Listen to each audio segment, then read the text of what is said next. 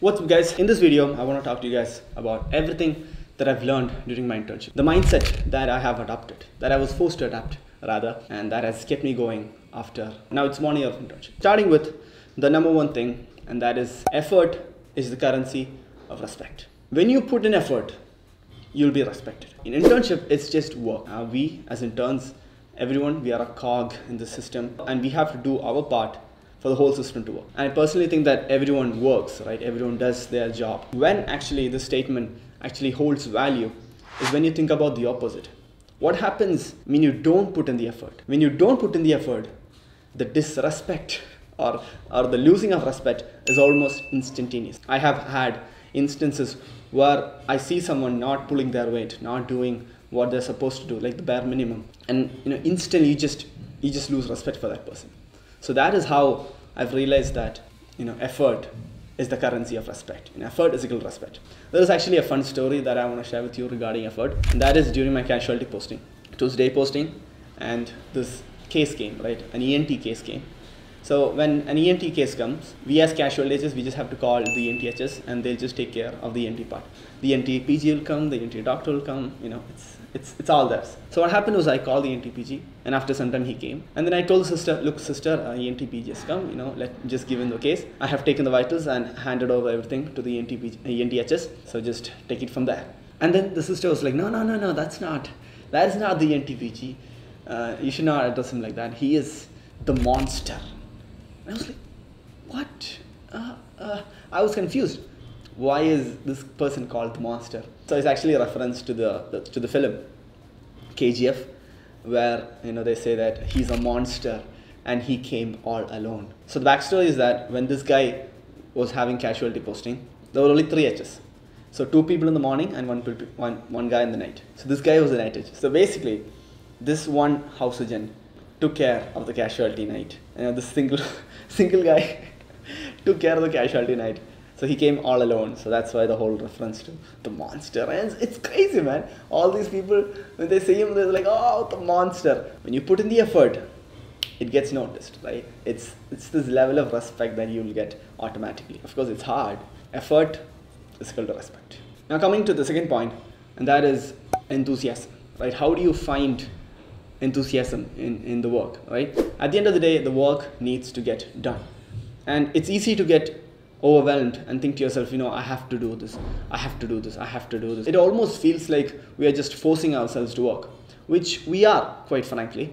But the thing is, when you switch that paradigm, when you, when you see that as an opportunity, when you, when you say, I get to do this, I get to uh, type discharge summaries, I get to type something, I get to write, I get to, you know, help patient out. You have this feeling of gratitude that is embedded when you think, I get to do this. So there are many times where I have thought to myself, oh God, you know, this is so mundane. I tell myself, I get to do this instead of I have to do this. And that's like being a game changer. And how I came about this mindset is when I was about to finish a certain posting, and then I thought to myself, okay, that's it.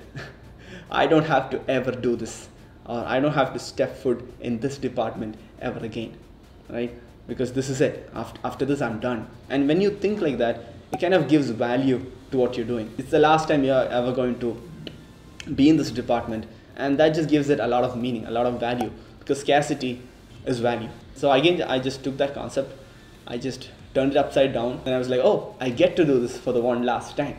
I get to this, I get to do this. So that is how I try to find meaning in, in the work that I do. The next point that I would like to talk about is about having confidence. So when I initially came into internship, you know, I was just a student, right? And after that, you have this transition to a doctor, to a person who works in the hospital, right? You're a, you're a part of the team. One of the junior doctors told me that you should know, you should, you should believe that you're a doctor, right? You have the authority of a doctor. You have the knowledge on why exactly you know a certain decision was made in terms of patient care. So you can advise the patient you can advise the nurses about what exactly is happening. So that one point she said that you are a doctor. Know gave me the confidence to approach each and every situation in the in the clinics or in the hospital with that confidence. So it kind of just uplifted me and uh, gave me the confidence. Now the last point that i want to share with you in regards to the hospital setting uh, or in regards to work is about um, being lazy you know, there are moments where I've let things slip by because I thought that it was not that important. Part of the reason that I just let things slip by is because I was lazy and I was kind of over smart. Right? I was like, you know, I can't be bothered. And funny enough, all these little things that I just took for granted, it's like a boomerang. Just uh, just comes and hits you back. For me, this happened mostly in disaster ways. I'm like, this is not important. Why should I add this? You know, is it like a big thing? Uh, I, I, I might have not paid attention to something, and it is usually that exact point that I've missed that they'll be like, why didn't you write this? Why why haven't you? Please add this. And then i have to go and take a hole another paper. I have to print another paper. Ah, it's a it's a hassle. So me trying to save a couple of seconds here and there. Ultimately uh, you know resulted in me wasting a couple of minutes. Like not minutes not a couple of minutes a lot of half an hour or something. What exactly i'm trying to say is that you know you have to be professional right? You know? Paka is what i'm what i'm trying to say.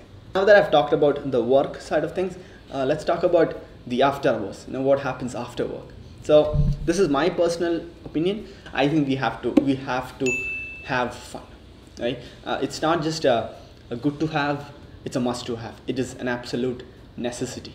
In the earlier months of internship i didn't have quite a routine set. I was just going to work coming back home and just resting i didn't exactly uh, do anything that was relatively fun right i didn't do anything that that that i found passionate and it resulted in me being drained. I wasn't really happy how things actually turned out because life was just, you know, encapsulated into work. It's just work, work, work, work, work, work. No, all work and no play makes uh, uh, Sai sad. I will tell you what worked for me. Okay, number one, it was going to the gym. Secondly, I started learning martial arts. You know, a friend of mine, he was like, let's go learn boxing. Uh, and then I also wanted to learn uh, Kalari martial arts, right? And I just started doing both I started doing karate and I started doing boxing. And that's when I realized, oh, there's a life. there's a life outside of everything. There's a life outside of all this.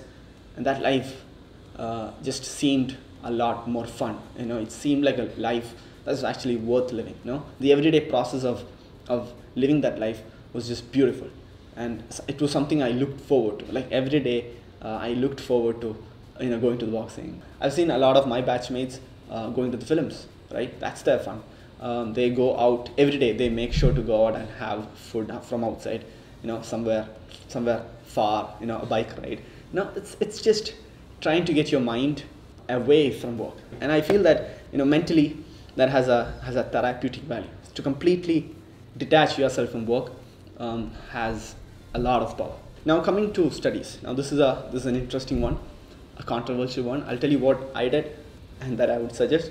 Uh, so I didn't exactly take time of out of my life to actually study. What I did was I selectively learned. Let's say a dengue case comes. I was like, okay, I'll study only about dengue. That's it. I'll just learn about dengue. What are the warning signs? You know, what are the problems in severe dengue cases? What are things I have to look out for? Bleeding manifestation, yada yada yada. I'll just learn whatever the case comes. You know, just narrow. That's all I did. I didn't go learn everything about infectious diseases. Not an inch more did I learn. Every case you get, if you can just look upon it, just understand what exactly it is. You know, I think that is the bare minimum that you have to do. Uh, do I wish I studied more during internship? Absolutely not. Uh, am I grateful that I've done things that have made me happy on a daily basis? Absolutely yes.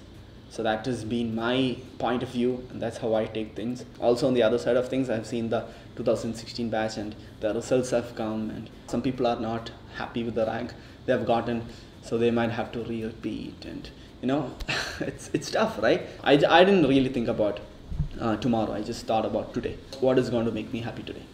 So that was my point of view. And last but not least, I think internship is a, is a unique experience. Uh, you know, you get to go and see and experience each and every department. If I was this person, how will my life look?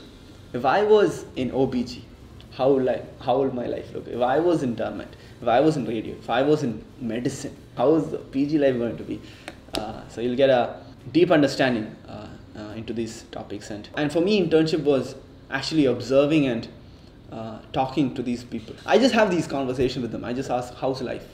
how does it feel to have finally made it you know orthopedics you know how, how does it feel to have finally become an orthopedics doctor, sir, or a nephrologist. I asked her, how does it feel to have finally made it in this, you know, in this uh, medical profession? Those are the kind of conversations that I've had for the most part, and those are the ones that have brought me a lot of insight to what exactly I want going future. So that is it. That is all my learnings um, in regards to internship. Right? It was a fun ride.